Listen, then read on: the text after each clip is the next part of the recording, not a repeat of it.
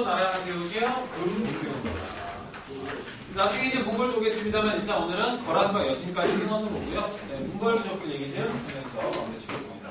자, 일단 얘네들은 기본적으로 어, 유목민족입니다. 아, 유목민족에 대한 얘기를 조금 먼저 하고 그리고 얘네들이 어디서 오는지 잠깐 좀 보겠습니다. 자, 고려 주변을 보시게 되면은요, 이쪽에 고려가 있습니다. 아, 자, 그리고 어, 원래 네, 이쪽에 당나라가 망한 이후에 개판입니다. 개판이기 때문에 이제 고려가 초반에 굉장히 당당하게 나가면서 뭐 황제를 칭하기도 하고 연호 선포하기도 했다라는 얘기를 살짝 드린 적이 있어요. 그래서 그 개판인 상태에서 아래를 무너뜨린 거란이 성장하게 되면서 얘네들이 이미 이쪽까지 내려갑니다. 지금의 베이징까지 차지합니다. 중국의 본토 일부까지 먹었다는 얘기예요. 어, 그래서 일부를 먹은 상태고 그리고 얘네들이 성장하게 됐을 때 이쪽에서는 어, 거란의 기름을 나름대로 빌려서 송나라가 중국 대륙 통일에 성공하게 됩니다. 아, 그래서 처음에 살짝 얘네들이 협력 관계이기도 해요. 자, 그래서 거란은 이제 나중에 세력을 키우게 되면서 어, 대륙에 진출할 꿈을 꾸게 되고요. 그 이유에 대해서 이제 뭐몇 가지 얘기했습니다. 아, 얘네들이 제대로 견제를 못해서 거란이 너무 커졌다. 그리고 이 지역의 평균 기온이 좀 낮아지게 되면서 먹을 걸 찾아서 남아있다는 여러 가지 원인들이 있다라고 말씀드리겠습니다. 어쨌든 얘네들이 내려오는데 그 이후엔 이제 여진도 내려온다든지 유목민족들이 설치기 시작하는 것이 우리나라 기준 고려시대의 줄거리입니다. 자 그렇다면 우리가 유목민족들의 특징을 갖다 좀 더 보고 갈까요? 유목민족은 기본적으로 싸움에 강합니다. 아, 싸움에 강한 이유는 뭘까? 맨날 약탈해서 아, 맨날 약탈하는데 말을 아, 말 타고 다녀요. 그게 제일 큽니다. 어렸을 때부터 동물들을 키우다 보니까 아, 말을 타고 다니는데 굉장히 늘하고 싸움도 당연히 이제 말 타고 합니다. 말 타고 다니는 것인데 기병이죠. 반면에 중국이라든지 우리나라 같은 경우에 기본적으로는 아, 도병입니다. 아, 걸어다니죠. 아. 어, 자, 그러므로 기병과 보병이 싸우면 아, 당연히 기병이 압도적으로 강하다라고 보시면 되겠습니다. 남학생들이 즐겨하던 게임에 비교하자면 기병들은 마치 질럿과 같다면 기병들은 마치 저글링과 같은 애들이기도 합니다. 자, 근데 남학생들 집중력이 떨어져서 약간 게임 이야기를 해보겠습니다. 자 그리고 어, 일반 농민도 있겠죠. 어, 물론 더 약할 겁니다. 어, SCV는 훨씬 더 약하고요. 자, 이런 식의 그 관계가 형성되는데 자, 이건 어쨌든 잊어먹으시고 어쨌든 간에 기병이 강하다라는 거죠. 그럼 의문이 됩니다. 야, 그럼 얘네 기병인데, 그럼 얘네들 언제나, 어? 1년 365일 몇 년간 어느 시기나 얘네들이 유목민족들이 강력함을 자랑하면서 여기저기 계속 두들겨 패고 다니지 않을까? 근데 사실은 그렇지 않단 말이죠. 어, 그 이유는 뭐냐면은, 어, 유목민 족들의 생활 특성이 있습니다. 우리가 그냥 거란족이라고 부르지만은요, 사실 여러 부족으로 나뉘어져 있어요. 유목민족의 특징, 얘들 이동생활하죠. 이동생활하는데 우리가 선사시대 때 이야기했었지만은 집단의 크기가 어느 정도 이상 커지기 힘듭니다. 그래서 부족 단위로 나눠져서 생활을 하기 때문에 사실 얘들이 하나다라는 의식이 그렇게 강하진 않아요. 물론 같은 언어를 쓰긴 합니다. 심지어 같은 문자도 씁니다. 그런데 각자 나눠서 생활하고 그리고 심지어 서로 간의 사이도 별로 좋지 않은 경우들이 많아요.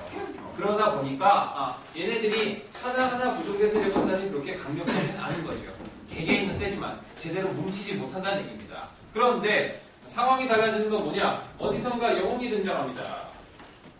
어, 영웅이 등장해서 얘들아 우리 뭉치자라고 하서 얘네들이 네, 거대한 하나의 군대를 형성하게 되면 정말 무지무지하게 무서운 정복국가로서 재탄생하게 되는 겁니다. 그리고 이 시기도 비슷한 모습을 보인다는 거죠. 그래서 이런 식으로 정복국가를 형성하게 되면 얘네들 최종적인 목표, 궁극적인 목표가 있습니다. 따뜻한 남쪽 나라로 가자. 어디로 갈까? 우리나라 올까? 아니면 중국 쪽으로 갈까? 중국 아, 중국이 커다란 목표입니다. 아, 그거 잊으시면 안 됩니다. 그래서 중국으로 내려가는데 저쪽에 왼쪽에 보니까 약간 좀 애매한 놈이 예, 중국하고 친하게 지내는 놈이 살짝 눈에 띄어요. 그 녀석이 누가 된다? 고려가 되는 겁니다. 그래서 어, 이 유목민족들 거란이 세운 묘도 그렇고요. 여진이 세운 군도 마찬가지입니다. 중국 대륙으로 진출하고자 하는데 예, 고려가 약간 거슬리다 보니까 얘네들이 중국이랑 친하다 보니까 우리 뒤통수를 칠지 모른다. 이런 식의 위기감 때문에 고려를 한번 찔러보거나 아니면 이제 실제로 침략하는 일로 이어지게 되는 거 되겠습니다. 그래서 거란도 그렇고요. 그럼 여진도 마찬가지고 고려에 이제 침략해 오는 것들을 찾아볼 수 있습니다. 그리고 나중에 나올 몽골은 살짝 다르긴 해요. 왜냐하면은 몽골은 그거지가 이쪽이라고 보시면 됩니다. 우리나라에서 좀 멀어요. 그러다 보니까 얘네는 이미 중국에 들어왔고, 어, 그리고 중국에 들어온 상태에서 이제 고려까지 쳐들어오게 되는 시기가 이제 좀 다릅니다. 그래서 들어오는, 들어오는 입장도 약간 다르고, 고려 입장에도 선택할 수 있는 여지가 좀 줄어든다라고 보시면 되겠네요. 어, 방금 설명한 얘기가 뭔 얘기인지는 그때 가서 아시게 될 겁니다.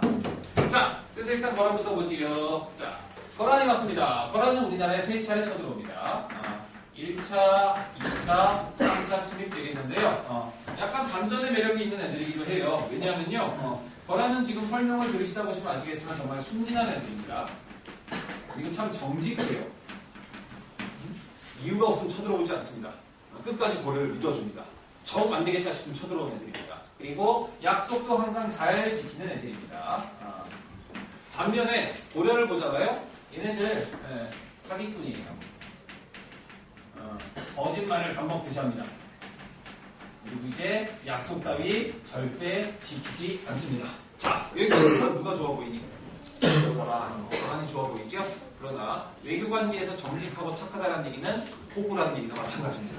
자, 그리고 얘네들은 왜 호구가 될 수밖에 없었는지 그 비밀을 찾으러 하나씩 가보도록 하죠.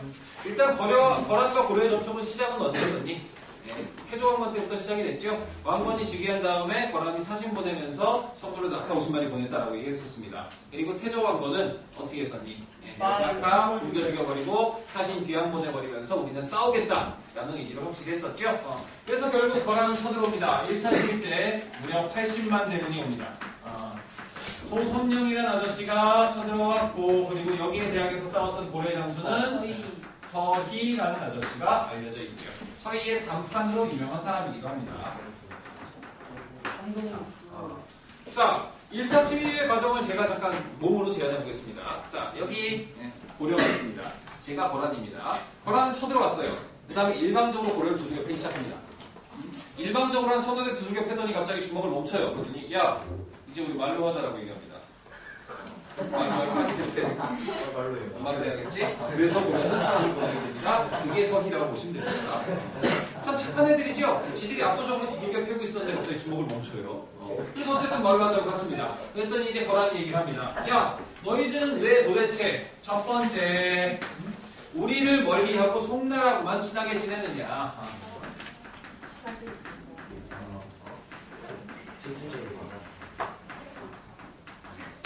이게 첫 번째 이슈입니다. 어? 바로 위에 있는 우리 거란은 우랑키라고 하면서 멀리하면서 왜 바다 건너 멀리 있는 송나라하고만 친하게 지내느냐? 어, 굉장히 순진한 요구죠. 우리도 친하게 지내고 싶어 얘들아 라는 얘기입니다.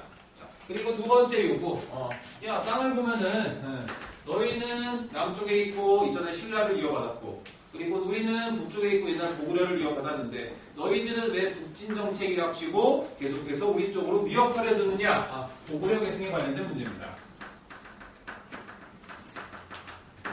참 순진한 이유죠. 어. 자, 그리고 여기에 대해서 서희는 이렇게 대답을 합니다. 아, 친송 배척 거란에 대해서는 음, 이런 얘기를 하네요. 얘들아 거란아, 아, 사실 너희가 오해하고 있는 게 있는데 우리 고려는 정말 너희 거란을 사랑한다. 정말 친하게 지내고 싶다. 하지만 사랑에는 늘 장벽이 있는 법. 음, 지도상으로 다시 돌아가 보실까요? 어, 우리 고려와 아, 그리고 이제 너희 거란 사이에는 예, 얘네들이 있다. 아, 여진이 진치고 있지 않냐. 얘네들이 우리가 사랑의 장벽이다라고 얘기합니다. 어, 얘네들한테 얘네들 때문에 우리가 너희랑 친하게 지낼 수가 없다. 선물을 보내도 가다 여진한테 털린다. 어, 그리고 뭔가 사진을 보내려도 여진이 무서워서 갈 수가 없다. 그러니까 우리는 이 여진 때문에 너희랑 친하지 못한 것이지 사실은 너희랑 친하고 싶다라고 얘기를 합니다. 믿을래 너희 같으면? 그리고 두 번째 고구려 계승 문제입니다. 이거는 간단하게 해결합니다. 우리나라 이름 봐라 고려다. 음? 고구려 계승한 나라다. 하지만 우리가 국진 정책을 펼치는 것은 아까도 얘기했지만 우리 사이에 있는 이 나쁜 놈들 여진을 물리치려고 하는 것이 절대 너희 거란을 해하려고 하는 것이 아니다 라고 얘기를 합니다. 그리고 거란은 이 얘기를 듣고 어 그래 알았다 너희 참 우리랑 지내게 좋구나 우리 이제 형제의 관계를 맺자 라고 하고 그리고 조용히 돌아갑니다. 음, 심지어 돌아가면서 그냥 가지 않았어요. 우리 사이에 장벽 따위 우리가 없어지겠다 라고 하면서 지나가는 길에 여진을 털어버립니다. 그리고 이 여진이 점령하고 해서 있던 땅 음, 여기를 갖다 고려에 선물로 주고 갔습니다. 그래서 그 땅을 받은 고려는 거기다 성을 여섯 개를 쌓았고요. 그 땅을 우리는 강동육주라고 부릅니다. 자, 줄거리를 정리하는 되게 화사한 1차 논쟁입니다. 자, 거란이 쳐들어왔어요. 두들겨 팹니다. 말로 하재입니다. 말이 끝나고 났더니 어 알았어 미안해 라고 하더니 형제 관계를 맺고 땅을 선물로 주고 갔습니다. 이 얼마나 착하고 순진한 애들이야. 좋은 애들이죠? 음. 자, 그런데 고려는 어떤 애들이다? 거짓말장에 약속을 지키지 않습니다. 형제 관계 맺긴 했지만 사실 보내겠다고 했지만 절대 안 보냅니다. 그리고 교류하겠다는 거 절대 안 하고요. 송나라하고만 친하게 지냅니다. 땅만 먹고 튑니다. 자, 그래서 어, 결국 거란 열받았는데요. 어, 열받는다고 바로 쳐들어오지 않아요. 뭔가 이유가 없으면 쳐들어오지 않습니다. 그런데 이유가 하나 생깁니다. 고려에서 어, 강조라는 사람이 신하 중에 한 명입니다. 얘가 정변을 일으킵니다. 얘가 권력을 잡고 왕을 갈아치워 버립니다. 사실 고려는 이렇게 신하들이 왕을 마음대로 갈아치워 버리는 일이 흔합니다. 그래서 왕을 갈아, 갈아치워 버리자 거란이 분노합니다. 아니 어떻게 그럴 수가 있냐? 거란과 고려는 형제의 나라다. 그리고 거란의 왕과 고려의 왕도 형제 관계다. 그런데 네가 뭔데 신하 주제에 내 동생 왕을 갖다 왕들에서 쫓아내느냐? 라고 하면서 거란의 왕이었던 성종이 직접 쳐들어옵니다. 40만 군대를 끌고 쳐들어옵니다. 고려의 지배자였던 강조는 어떻게 될까요? 자기 죽이겠다고 오는 거죠? 맞서 싸웁니다. 어, 수도 개경에서 지키다가 열심히 싸우다가 수도 개경 털리고 전사합니다. 고려는 수도 개경에 함락했고 그리고 강조도 전사했습니다. 그리고 어, 피난가 있던 왕은 강조가 죽었다는 소식이 들리자마자 거란의 성종한테 사실을 보냅니다. 야 강조 죽었잖아. 거란도 끝났지? 이제 돌아가 라고 얘기합니다. 거란은 알았어 그런 다음에 돌아갑니다. 자, 물론 고려가 추가적인 약속을 했어요. 이제 진짜 친하게 지낼게. 심지어는 우리 왕이 직접 너희 거란 수도까지 찾아가서 황제한테 찾아뵙고서 문안 인사 드릴게. 어, 친한 어, 여러 가지 신규의 상징으로 이렇게까지 약속을 합니다. 그래서 일단 거란은 물러갔죠. 그러나 고려는 약속 지킨다 안 지킨다? 안 지킵니다. 거란 또 쳐들어옵니다. 아, 10만 군대가 쳐들어옵니다. 뭔가 좀 이상하지? 숫자가 점점 줄어들지. 자 그리고 이때는 소배합이라는 애가 쳐들어왔는데요. 자 이제는 등장하실 때가 됐습니다. 아, 강전천 아저씨가 등장하십니다. 여러분들 대학 가고 싶어요? 낙성대란 좋은 대학인데 혹시 알고 계세요? 네. 어, 정말 바닥에 있어. 어, 사실 대학이 아니야. 어, 별이 떨어진 곳이라고 해서 강감찬 장군 태어나신 곳입니다. 어. 아끼지 마세요. 진짜 뭐야 이거. 제주대학 감귤포장 학과 그런 데라고 보시면 됩니다. 대구대 목탁깎이학과 그런데 자, 실제로 존재하지 않는데요. 자 그래서 어, 강감찬 장군이 맞서 싸웠습니다. 강감찬 장군은 소배학과 거란 군대를 수도 개경 근처까지 끌어들입니다. 그리고 보급로를 끊습니다. 그리고 쫄쫄 굶기 시작해서 지쳐서 돌아가는 불쌍한 거란 애들을 이전에 을지문덕 아저씨가 하셨듯이 네, 을지문덕 아저씨가 하셨던 그곳 살수 지금은 강 이름이 바뀌었습니다. 청천강입니다. 그리고 어, 거기는 거란한테 주받았던 땅 강동 육주 중에 하나 귀주라는 성이 있었고 여기서 음, 거란 애들을 갖다 물고기 밥으로 만들고 그리고 도망가는 애들까지 탈탈 털어서 어, 10만의 군대가 왔다가 대략 한 2,800명 정도 돌아갔다는 전설의 귀주 대첩을 만들어내십니다. 거란은 패했죠. 고려는 이겼습니다. 그리고 고려는 이제 거란한테 얘기합니다. 야 까불면 죽는다. 다신 쳐들어오지 마. 그리고 이제 당당하게 평화한대를 맺었고 그 이후로 고려는 고려를 쳐들어오지도 못했고 그리고 고려도 쳐들어오지 못한 고려는 어떻게 됐습니까? 중국대를 또 진출하지 못하고 시름시 말다가 뒤늦게 일어난 여친한 테이블에서 망해버렸다는 훈훈한 얘기로 마무리가 됩니다. 자, 여기까지 보시면 정말 고려는 사기꾼의 거짓말 약속 안 지키는 놈이고 고려는 순진하고 정치하고 착한 놈이죠. 자, 외교 관계에서 어, 이런 거는 호구라고 보시면 됩니다. 사실 그렇다고 해서 거란이 정말 멍청했을까? 고려 얘기를 믿었을까? 안 믿었겠죠. 하지만 믿을 수밖에 없었던 그런 상황이 있었던 겁니다. 왜 거라는 그렇게 저자세로 1차 침입 때 일방적으로 이기고 있던 상황에서 주먹을 멈추더니 말로 해결하고 심지어 우리의 선물까지 주고 갔을까? 아, 자, 80만 대군이 왔어요. 뭔 얘기일까? 사실 거란의 주적은 누구다? 송나라입니다. 송과 대립하고 있는데 그쪽 병력 다 빼가지고 고려에 침략한 겁니다. 어? 그러다 보니까 고려도 알고 있는 거죠. 야, 니네 여기 병력 있어도 괜찮아? 여기 있다가 송나라가 만져와서 털릴 텐데 빨리 돌아가게 될 텐데 이 정도 치면 수여졌으면 돌아가시지라고 하면서 이제 계속해서 꼬신 거죠. 그래서 거란도 어떻게든 고래의 환심을 사고 싶었고 뒤쪽, 뒤쪽에 거- 걱정거리 없었고 싶었으니까 어떻게든 이제 고래의 땅까지 주면서 고래를 잘 달래보고자 한 겁니다. 하지만 고래는 그냥 먹고서 그래 고마워라고 하면서 앞으로 니네 편 들게 할 게 아니라 일단 상황 좀 보고라고 하면서 계속해서 이 사이에서 줄타기라고 하라고 보시면 되겠죠. 굉장히 성공적인 외교사입니다. 그래서 우리나라 역사상으로도 대급으로 꽂는 어, 계속해서 적의 침략을 상황을 보면서 막아내면서 2차 침입 때 무슨 상황이었을까? 야, 이 40만 군대 왔네? 이쪽에도 군대 있긴 하지만은 총나라가 제대로 쳐들어오면 어떡할래? 니네 빨리 돌아가야 되지 않겠어? 수도까지 왔는데 제대로 좀 돌아가시지라고 해서 배짱 튕긴 거라고 보시면 돼요. 그리고 3차 침입 때 10만밖에 안 왔다는 얘기는 뭐냐? 아, 전선에 송나라 쪽의 병력을 거의 유지한 상태에서 최소한의 병력을 빼내서 고려를 굴복시키고자 했던 겁니다. 그러나 고려는 니네는 그 정도로 우리를 제압할 수 없다는 걸 보여줬던 것이 전에 귀주대첩이라는 거죠. 어, 혹시 그리고 이 귀주대첩이라는 이름에 현혹돼가지고 여러분들이 착각하신 게 있습니다. 왠지 대첩 시리즈가 붙으면 한산도 대첩도 그렇고 살수 대첩도 그렇고 소수의 군대로 다수의 군대를 막아낸 것처럼 보이지만은 이때 고려 군대가 대략 한 30만 된다는 설이 있습니다. 어, 즉뭐 한 거니 말로 배짱 튕기면서 상황 보면서 뒤쪽에서는 열심히 힘을 키운 거죠. 싸울 준비를 한 겁니다. 그리고 제대로 한방 터트려 보여주게 되면서 우리 함부로 볼수 없는 놈이다라는 실력을 보여주고서 그걸 바탕으로 전쟁을 최소화하고 백성들의 피해를 최소화하면서 자존심까지 지킬 수 있었던 성공적인 배로 살아가는 거죠. 그래서 이제 거란과의 관계가 아름다운 겁니다. 심지어 마무리도 깔끔합니다. 이걸로 끝나지 않고요. 혹시나 또다시 거란이 쳐들어올까 해서 방비도 튼튼히 합니다. 아, 수도 개경 주변에 네. 나성을 쌓고요. 그냥 성벽 한 바퀴 더 둘렀다라고 생각하시면 편합니다. 어쨌든 수도 방비 튼튼히 했고요. 그리고 북경에다가 천리장성도 두 번째 이야기 쌓습니다.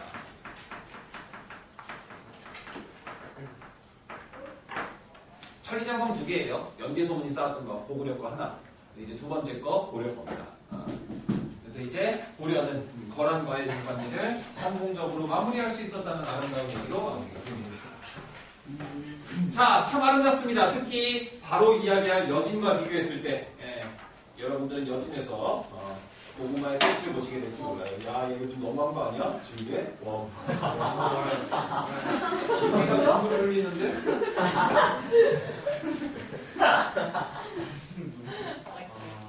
닦아야겠어요. 역시 물을.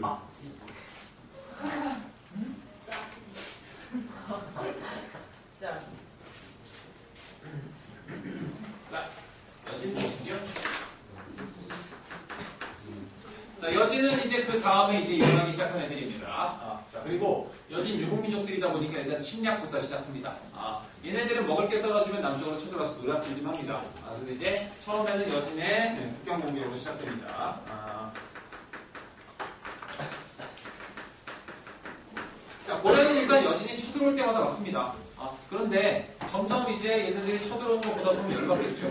아, 이 새끼들 왜 이렇게 쳐들어와 짜증난다. 이걸 확실하게 해결하려면은 적들의 본거지를 털어서 어, 본때를 보여주자. 라고 하면서 고려는 여진 정벌을 시도합니다. 그때 주인공이었던 사람이 이제 윤관이라는 뜻입니다.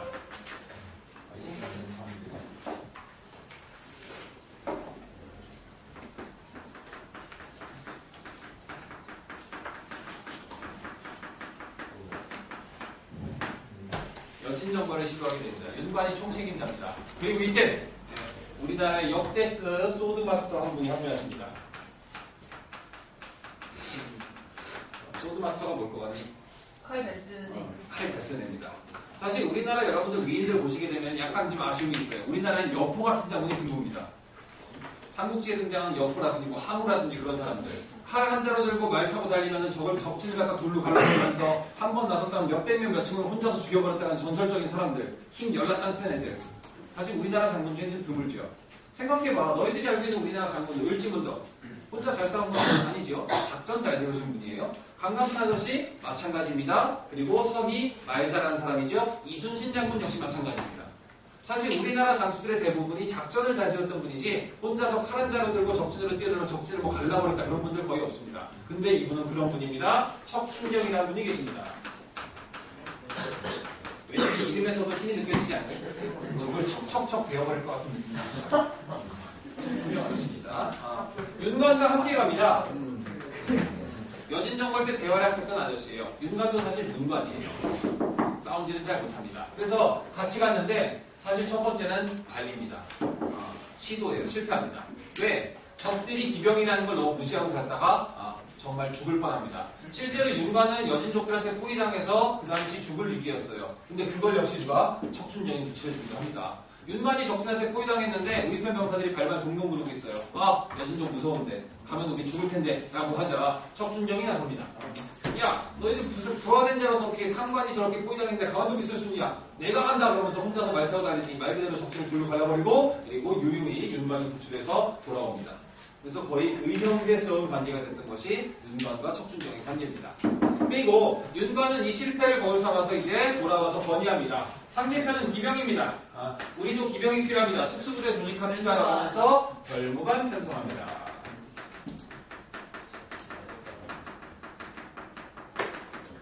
별무관은 여러분들은 그냥 기병 위주의 특수부대다라고 생각하시면 돼요. 어, 여진정관을 위해서 파견됐고요. 이제 그냥 상식 삼아서 추가로 얘기하자면은 어, 뭔가 이름이 좀 더 신적입니다. 신의 기군, 신기군, 어, 기병. 그리고 이제 신보군, 신의 보병. 그리고 심지어 마지막 항마군, 마귀에 대항하는 분입니다. 어, 심지어 이분들은 마귀와 싸우기 위해서 특별히 승병들로 조직되어 있습니다. 어, 고려시대 스님들이 좀 많아요. 그분들로 이제 부대를 만들기도 합니다. 물론 스님들이기 때문에 직접 싸우는 건 아니고 보호부대였다라고 해요. 어. 어쨌든 별무원은 편성됐고 그리고 여진족의 본거지를 완전히 쓸어버리는 데 성공합니다. 그리고 어, 윤관은 이 여진 정거를 통해서 그 지역에 있었던 여진들을 몰아넣고 그 지역, 동북 지역에다 아홉 개의 성을 쌓습니다. 동북 구성을 축조합니다.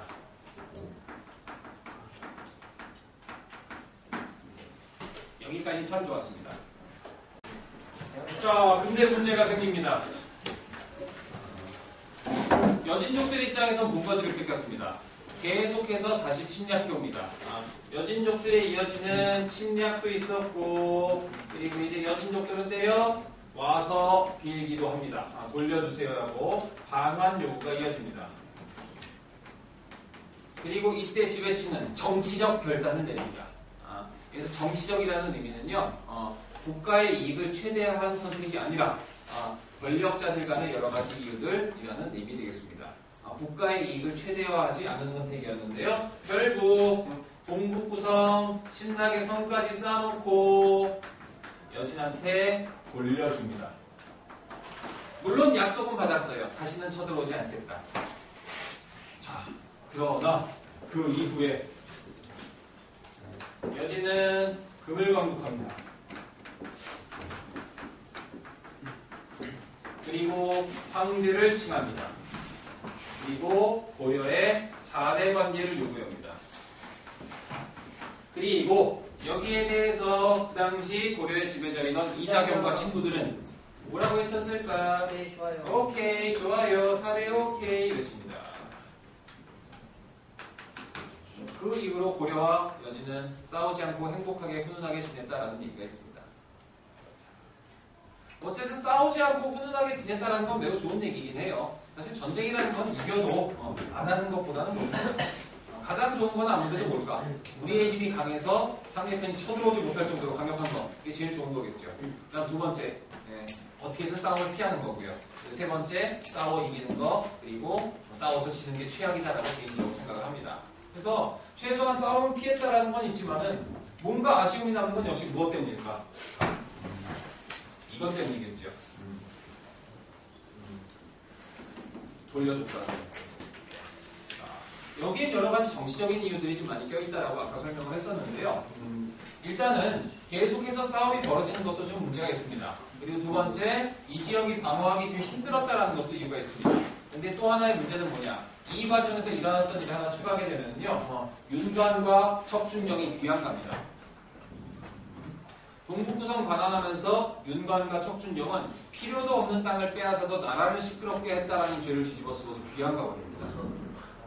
왠지 정치적 이유가 살짝 이해가 가세요? 윤관과 척준영은 영웅이 됐습니다. 특히 동북구성 축조 이후에는 그렇겠죠. 어? 이때 척준영 개활을 합니다. 적의 성이 함락되지 않아요. 그랬더니 내가 간다 그러면서 혼자서 투벅투벅 합니다. 혼자서 투벅투벅 성벽 기어 오릅니다. 적장, 적장들 다 내어넘기더니 자기가 성벽 아래로 내려와가지고 성문 활짝 열어줍니다. 그래서 성함락시키기도 합니다. 그런 정도의 활약을 보였으니까 당연히 어떻게 해야겠니? 많은 상을 줘야겠죠. 벼슬도 줘야겠죠. 권력도 줘야 됩니다. 그게 이제 그 당시 권력자들의 심기를 좀 거슬렸다고 보겠죠. 그래서 결국 음, 윤관을 귀양 보내버림과 동시에 음, 동북구성을 반환했고 그리고 이제 이것은 어떻게 보면 이것만 안 했어도 여진이 세력을 키우지 못했을 것이고 금나라도 건국 못했으면 황제도 못 칭하고 4대 유구도 없었을 거 아니냐 나는 아쉬움이 많이 남긴 하죠. 하지만 어쨌든 간에 뭐 역사의 가정은 없다고 얘기합니다. 반환했고 이런 식의 일들이 벌어지게 되면서 특히 거란과의 이런 성공적인 사례를 비교해 봤을 때 아쉬움이 많이 남는 게 여신과의 관계다라는 거죠. 자, 그래서 뭐 나쁘게 얘기하면 그렇고 좋게 얘기하면은 나름대로 이제 전쟁을 피하는 현명한 선택을 했다. 아, 백성들은 그래도 좀 전쟁에 시달리지 않을 수 있었다라고 평가할 수 있는 것이 금과의 사대 관계 수립되겠습니다. 자, 그리고 금나라 그 다음 어떻게 했을까? 뒤에 걱정이 없죠? 마음 놓고 들어갑니다. 그래서 결국 이쪽에 있었던 송나라까지 남쪽으로 쫓아내버리고 어, 송나라의 수도 함락하고서 중국 대륙 위쪽 절반을 차지하게 됩니다. 그래서 중국 대륙 절반을 지배했던 애들 네, 여진이 세웠던 금나라 이렇게 마무리되겠습니다. 자, 책에서 내용들 마무리되기 전에 일단 칠판에 써 있는 내용들 좀 요약해 볼까요? 자, 거란과의 싸움 좀 복잡하죠? 간단히 보세요. 싸움 시작합니다. 1차 침입이 있었습니다. 먼저 누가 활약했다? 서희가 단판했고 이런 내용들로 어, 고구려의 계승자임을 인정받고 마지막 결론 어, 강동육중 획득했어요. 자, 이게 첫 번째고요. 그 다음에 2차 침입은 여러분들 입장에서 그렇게 크게 신경 쓸 필요 없습니다. 강조 이름도 몰라도 돼요. 단지 여러 차례 침략이 있었고 특히 언제 3차 침입 때 네, 누가 활약했다? 강남찬 아저씨가 귀주대첩에서 애들을 갈라버렸다. 아, 주요 줄거리입니다. 아, 교과서에 있는 줄거리예요. 그리고 이제 뒷마무리로서 어떻게 했다? 아, 성싸우면서 관계 틈순이했다. 이게 거란과의 외교관계입니다. 음. 자, 그 여진과의 관계 다시 정리해 볼까요? 어, 뭐 처음에 여진의 노략질로 시작이 돼가지고 윤관이 여진정과 시도한 것까지는 사실 좀 모르셔도 돼요. 일단 여진과 싸웠고 그리고 결부관을 편성해서 어, 여진을 전발하고 동북 구성을 쌌습니다. 그러나 그 다음에 어떻게 된다? 돌려줬고 그리고 그 다음에는 여진이 금을 건국했고 황제를 칭한 다음에 사대를 요구했고 고려는 오케이 했다라는 이쪽에 여진의 줄거리입니다. 자, 척춘령 이름은 몰라도 될까 알아도 될까? 몰라도요. 아, 잠시 후에 다시 나올 겁니다. 아, 나름대로 중요한 사람입니다. 아, 이때 척준정이 귀양 갈때 갑자기 이제 누군가 손을 내밉니다. 야, 너 나라에 공 많이 세웠는데 이런 취급받는 거 정말 억울하지 않냐? 나란 손잡으면 내가 너를 구해줄게라고 손을 내민 사람이 있었습니다. 그 사람의 이름은 이자겸이라고 합니다. 아, 이자겸. 음, 왜 자기 딸 기독해서 왕한테 시집 보냈던 사람 있지? 아, 그리고 나름대로 최고 권력자가 된 사람 음, 잠시 후에 등장할 겁니다. 자, 책에서 정리하죠. 아, 관계팀장 뭐잘 써네. 관객들이요. 아, 그분은 개인적으로 잘 썰었다라는 기록은 사실 그렇게 크게 보긴 힘들어. 어쨌든 본인이 잘 싸우시긴 했어요. 어, 근데 그래도 뭔가 혼자서 나오고 지금 혼자서 제압해보려 그런 느낌은 좀 없죠. 사실 그런 게 좀 비현실적이긴 한데요. 이분은 이 얘기가 어, 정사에 기록되어 있어요. 어, 정식 역사책에 기록되어 있습니다. 자, 거란과의 전쟁 보시죠. 중국에선 10세기 초에 당이 멸망하고 어쨌든 간에 혼란기입니다. 그런 사이에 거란이 요를 건국해서 검사 세력을 확장합니다. 자, 그리고 송이, 태릉이라는 이후에 요와 송이 대립하는 구도가 형성되게 되는데요. 고려는 주로 한족 왕조, 중국의 오리지널 애들과 우호적인 관계를 유지하고 북방의 거란을 배격합니다. 그래서 결국 거란이 쳐들어옵니다. 1차 침입입니다. 이때 서희가 소손녕과 회담에서 뭐 담판이라고도 표현할 거예요. 어, 고려가 고구려, 고구려의 후계자임을 알리고 그리고 이제 고- 거란과 교류하겠다고 약속합니다. 그리고 거란은 강동 육주를 선물로 주고 갑니다. 이후 계속해서 약속 안 지키는 고려에 대해서 거란이 쳐들어옵니다. 그리고 3차 침략 때 예, 강감찬이 이끈 고려군이 이를 격파하고 대승을 거둡니다. 위주 대첩입니다.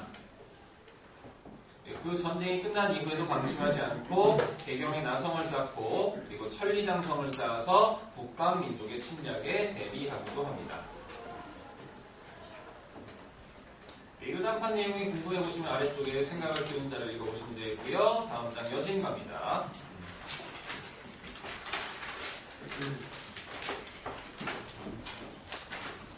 여진의 성장. 자, 옛, 둘째 줄에 보시면 여진이 어떤 애들인지 나와 있습니다. 발의 옛 땅에서 부족 단위로 흩어져 살고 있었던 여진들입니다. 아, 고려는 얘네들 살살 달랬어요. 먹을 거 주면 안 쳐들어오거든요. 자, 그런데 두 번째 단락. 음, 뭉칩니다. 12세기에 완앤무란 부족을 중심으로 해서 강성해지면서 고려 동북쪽 국경지대를 침략합니다. 어, 윤관이 책임자가 됐습니다만 털렸고 그 경험을 거울 삼아서 별무반을 편성합니다. 그리고 여진정벌하고 동북쪽 국경밖에 9개의 성을 쌓아 고려의 영토로 삼습니다. 그러나 고려는 여진이 구성을 돌려달라고 요구하자 그리고 어, 방어하는데 어려움이 있고 여러 가지 이유로 인해서 구성을 반환하게 됩니다. 이후 여진이 금을 세웁니다. 1115년이에요. 그리고 이제 황제를 칭하며 고려의 예, 형제, 더 나아가서 4대 관제까지 요구합니다. 그리고 당시 집권자이던 이자겸 등은 금의 요구를 받아들이게 되고요. 어, 그리고 이제 금은 음, 그 이후에 송나라 마음껏 쳐들어가서 송을 멸망시킬 수 있었고 어, 고려는 그 싸움에 끼어들진 않습니다. 어, 나름대로 실리를 챙기고 있는 고려라고도 볼 수 있겠네요. 자 여기까지 내용 보시면 되겠고요. 뭐 구성의 공부 구성에 대해서 위치에 대해서 여러 가지 설들이 많아요. 어, 그래서 이제 여러 가지 설들 예, 한 번쯤 재미삼아 읽어보시면 되겠습니다. 그 다음에 이제 문벌 기록 사회로 넘어갑니다.